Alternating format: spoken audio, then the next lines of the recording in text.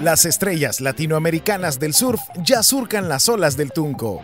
Esta mañana se dio el banderillazo de salida a las competencias del Surf City El Salvador a las Latin Pro 2019 6 Estrellas Prime, en el que participan más de 200 surfistas provenientes de 15 países del continente americano.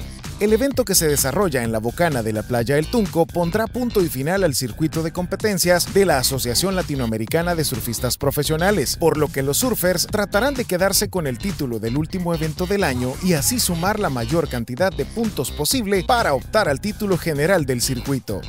El máximo representante salvadoreño en el certamen es Brian Pérez, medallista de bronce de los Juegos Panamericanos. Aseguró que dará su mayor esfuerzo, al igual que el resto de competidores salvadoreños presentes en la justa. El presidente ad honorem del INDES, Yamil Bukele, estuvo presente en el acto de inauguración del evento.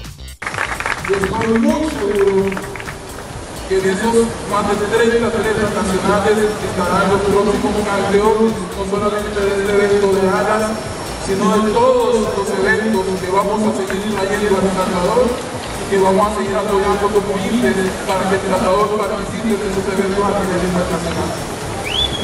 Quiero dar por inaugurado este evento, agradecer a todo el gabinete, agradecer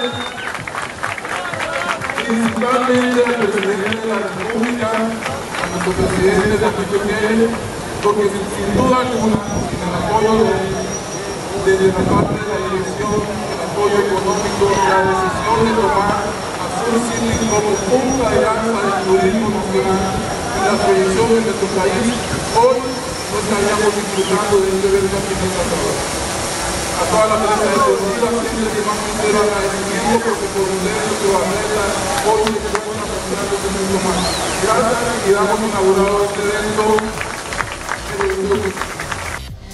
Por su parte, Karin Sierralta, presidente de la Asociación Latinoamericana de Surfistas Profesionales, destacó que por primera vez en la historia hubo un gabinete al 100% presente en la playa, por lo que estaba muy impresionado, pues se ha notado el compromiso de todas las oficinas de gobierno involucradas en la organización del evento.